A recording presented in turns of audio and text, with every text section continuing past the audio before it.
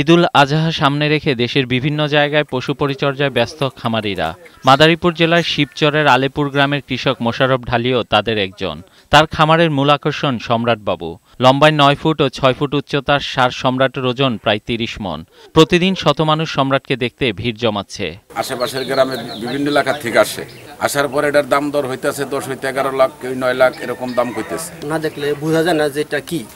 কিন্তু আমি দেখে আসলে এটার প্রতি মুগ্ধ হয়ে গেছি। শখের সার সম্রাটের লালন পালনে গেল দুই বছর ধরে অনেক টাকা খরচ করেছেন মোশাররফ ঢালি।